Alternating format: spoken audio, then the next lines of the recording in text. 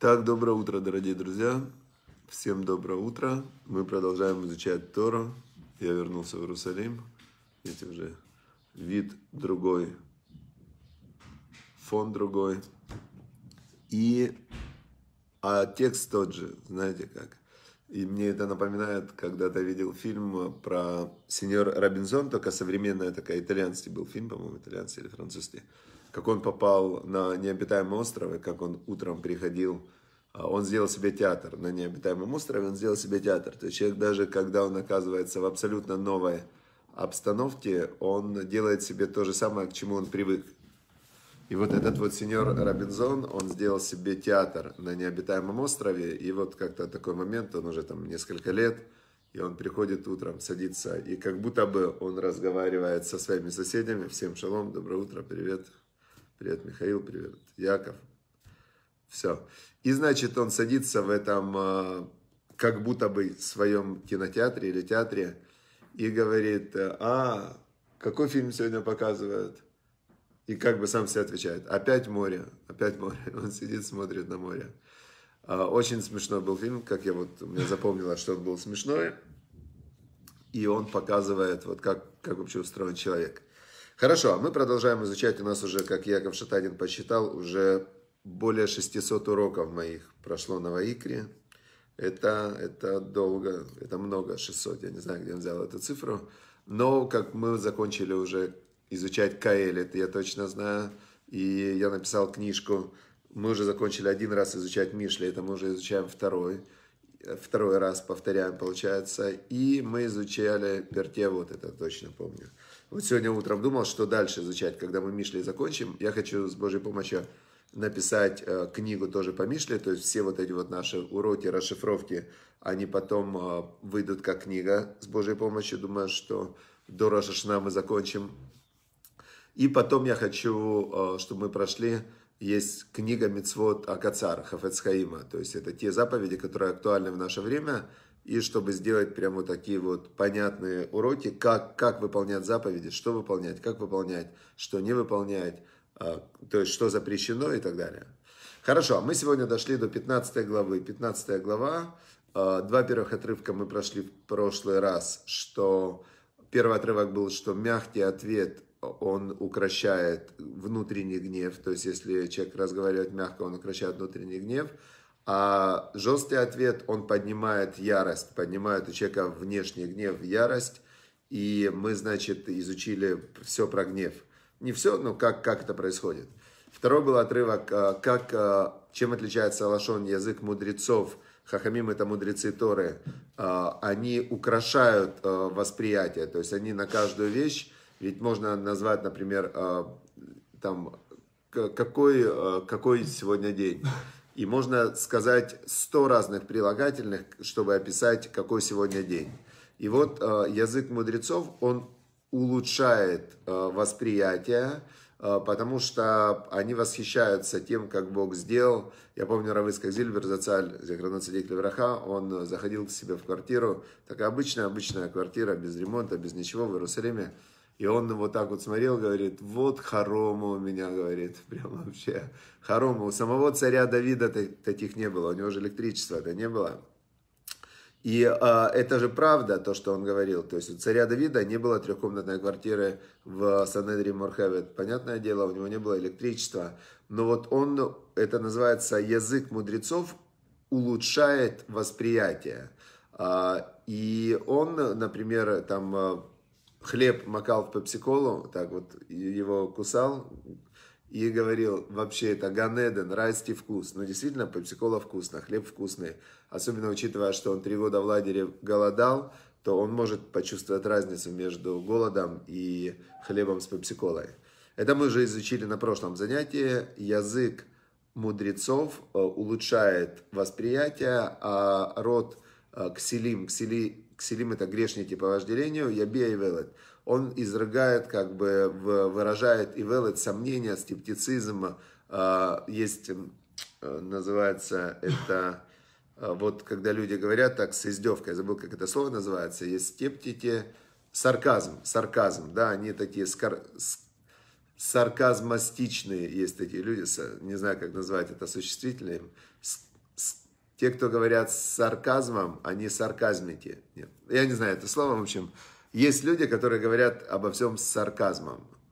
Хорошо, теперь, значит, э, третий отрывок. Сегодня мы подошли к третьему отрывку. Здесь написано так. Беколь маком иней ашем цофот раим ветовим. В каждом месте написано глаза Бога. Софот это просматривают. Просматривают и злых, и добрых. Это очень интересная вещь. Э, как Бог может просматривать злых и добрых. И почему написано в каждом месте глаза Бога просматривают, используется глагол просматривается. Это как рентгеновским э, таким лучом. Просматривает и злых, и добрых.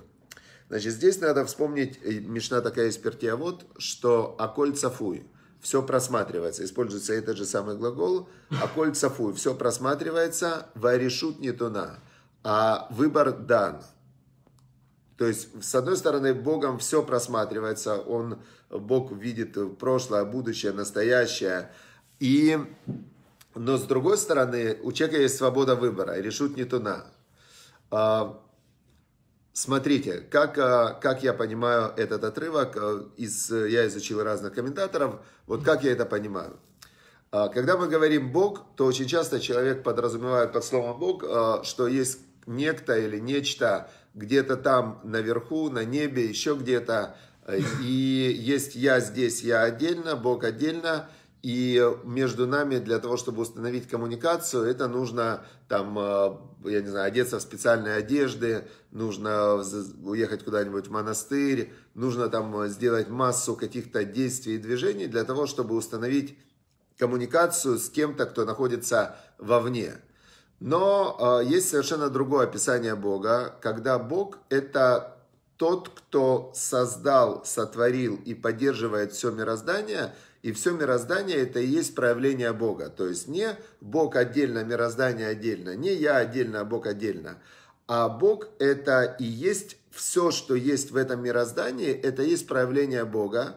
И наиболее высшее проявление Бога в, вот в этом материальном мире – это душа человека. То есть Бог, он находится не вовне, а он находится внутри. Можно так сказать. То есть он находится внутри в разных, э, в разных э, э, проявлениях, назовем это так, то есть в разных проявлениях, да, потому что если мы посмотрим, то все в этом мире это атомы и электроны. Только эти атомы и электроны, они сложены в разные, в разные комбинации. А внутри эти атомы и электроны наполняют какая-то энергия. То есть я слышал, что в атоме есть атомное ядро, а по, вокруг летают ядра этого, ну, частицы. Так вот, от, э, э, расстояние между ядром атома и частицами, которые летают, это больше, чем расстояние от Солнца до Земли. Получается, что внутри атома, внутри атома пустота, то есть на 99,9% все это мироздание состоит из пустоты. То есть, а почему эта частичка летает вокруг атомного ядра? Почему это, как эта пустота держится? Кто дает энергию, чтобы все эти частички летали? Это вот это одно из проявлений Бога в виде энергии, которую Он дает мирозданию. Но в человеке Бог проявляется в виде души человека. Это некое вообще непонятное соединение, потому что душа уже относится к духовному миру, а про духовный мир мы знаем э, точно одно, что духовный мир не имеет никаких материальных проявлений. То есть духовный мир, он, э, он это не энергия, не материя, не молекулы, не атомы. То есть духовный мир, он, э, он абсолютно не имеет никаких материальных проявлений, ощутимых органами чувств. И вот душа, которая соединена уже с материальным миром внутри человека, это проявление вот вот того божественного, которое самое высокое. Но в духовном мире божественное тоже имеет, а, имеет, как здесь, все состоит из атомов, из а, вот этих вот там электронов, молекул и так далее, то в духовном мире все тоже неоднозначно. Это не просто однозначный духовный мир. Там тоже есть а, множество различных, как писал Рамхаль, там есть множество трансцендентной силы, как-то переводили это слово. Потом есть каскадные. Там каскадная такая система, где божественное проявление как бы по каскадам, все более уплотняясь и усложняясь, доходит до вот этого вот э, момента пересечения духовного мира и материального. и что ничего в материальном мире не происходит без того, чтобы изначально корень всего материального, он находится в духовном мире. Теперь получается, получается интересная вещь. Тогда нам становится понятно, что в любом месте глаза Бога просматривают мироздание. То есть вот этот вот, это как рентген, то есть духовное, оно пронизывает все мироздание, и а, оно пронизывает и просматривает и плохих, и хороших. Что значит плохих и хороших?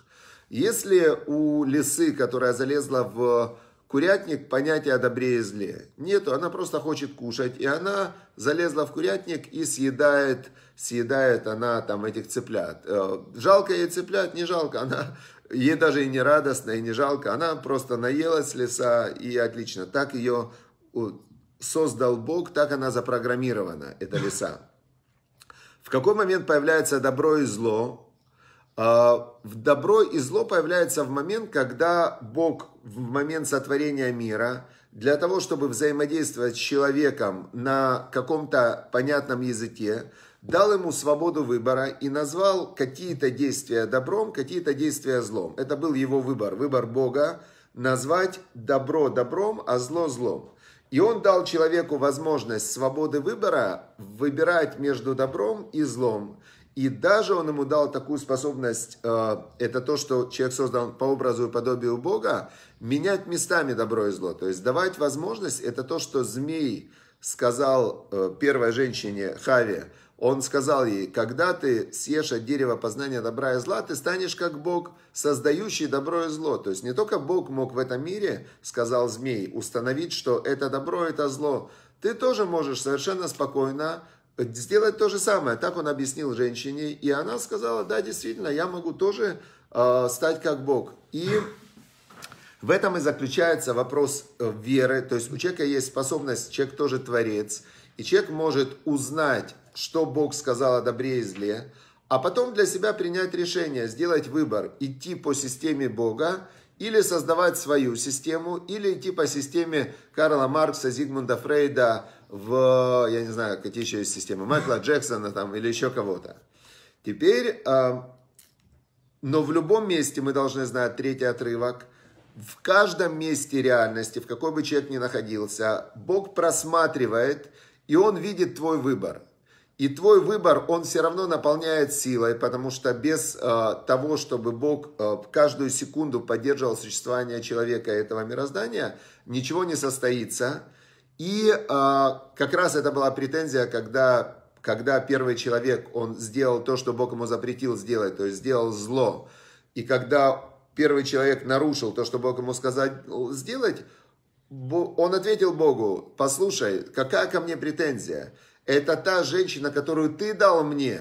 Она мне сказала кушать, то есть все все равно от тебя и добро, и зло, и каждый мой поступок. Я не могу без тебя сделать. За что меня наказывать, если ты же сам дал как бы легитимацию моему поступку? На что ему Бог ответил, за все есть ответственность. За все есть ответственность, и э, в каждом месте Бог просматривает все поступки человека, наполняя их силой, и, но в ответ все равно «Аколь цафуй», сказал нам Пертьевод мудрец – все просматривается. Вы решут не туна. И дан, дан выбор человеку между добром и злом. У бытува олам не дун, там дальше продолжается, и добром судится мир, в аколли ферова массе. И все, итоговый вариант, это идет по действиям, которые делает человек в этом мире, как компьютерная игра. То есть ты выбираешь между добром и злом, ты делаешь действия, и ты получаешь результаты своих действий. Все очень честно, понятно и четко. Все, это так э, можно понять этот отрывок, третий отрывок 15 главы, что в каждом месте Бог нас просматривает, и, э, и хорошие наши действия, и плохие, все Богу не просто видны, а они не могут, они не снаружи видны, они ему снутри видны. Он, он их и делает, можно сказать, через нас. А кто получает награду? Награду и наказание получают люди. Я сейчас вспомнил очень интересно, в, мы учили в Каэлите, в Экклезиасте, мы учили в конце, там есть такой отрывочек, да, заканчивается Экклезиаст э, словами. Сов давар, аколь нишма. В конце концов, все понятно. Эт айлотим ира, Бога бойся, мицватав шмор, тизе коля адам. Заповедь его соблюдай, в этом весь человек. И дальше там идет продолжение. Валь коль давар, в коль давар иви а, ашем лимишпат. Каждую вещь приведет Бог на суд. Каждую вещь, каждое действие, каждую мысль. Им то вы имра. И хорошее, и плохое. И здесь все понятно, все полностью совпадает с тем, что мы учим здесь, кроме одной интересной вещи. А за что за хорошее он будет судить-то? Почему он должен за хорошее судить? Ведь хорошее это, это, это же доброе. И там объясняет Раши, что он говорит, хорошее бывает, что человек, само действие хорошее, но Бог же знает намерение, с которым человек делает это действие. Он же знает его внутреннее. То есть Бог, он как бы просвечивает все, даже корень действия, даже начало действия. Для чего он это делал? Понятно. Э, я, кстати, в, этот момент у меня вот я вспомнил, что я должен был в начале урока сказать, сегодня, сегодня Йорца, это годовщина смерти а, моей бабушки, вот нашей бабушки Бася, ее звали Бася, дочка Леи, и папу ее звали Бася Мардыхай, звали ее папа, Бася Михайловна, Михаил, Михаил звали ее папу, значит, Бася, Бат Михаэль а, и Бат Лея, так ее звали, она была очень хорошая, добрая женщина, и значит, чтобы был сегодняшний урок Торы в Лейлу Нишамаш для поднятия ее души. То есть, когда человек умирает, и его потом те изучают Тору, делают добрые дела и так далее, то это поднимает душу человека на Йорцайт, годовщина смерти, то как бы идет э, заново пересчет э, того, что человек сделал в этом мире, и действия его потомков становятся для него э, основанием для перехода в следующие духовные уровни – Поэтому, а, поэтому в Йорцайт мы не, наоборот не плачем, вот кто-то как будто жалко бабушку, а, ну чего ее жалеть, она в 2002 году умерла в счастливой старости, в возрасте 87 лет ей было тогда, и дай бог, чтобы ей дальше было хорошо. А, у меня были прямо чудеса, с, когда она умирала, я тогда только начал учиться в Ешиве, и как я пришел там к одному раввину спросить, что мне делать, он мне сказал, езжай в Германию, она была в реанимации, сказал мне, что сделать какие-то действия. Там очень я видел, как действительно Тора делает чудеса. И вот я все равно, она правда умерла, но до смерти я еще раз убедился, до ее смерти, что, что вот Бог, Тора, заповеди, это, ну, это главная сила в мире. Хорошо, значит, сегодня вот Лейлунь для поднятия ее души, Бася Бат Лея, Бася Бат Михаил, э, Михаэль, значит, чтобы была ей, э, чтобы ее не шмата, говорят, чтобы ее не шама, чтобы ее душа была привязана к корню всех душ и находилась в месте, где находятся праведники. Вот это очень важно. Хорошо, теперь э, давайте четвертый отрывок, мы сегодня еще успеем. Четвертый отрывок такой. Значит, Марпела Шон Эцхаим.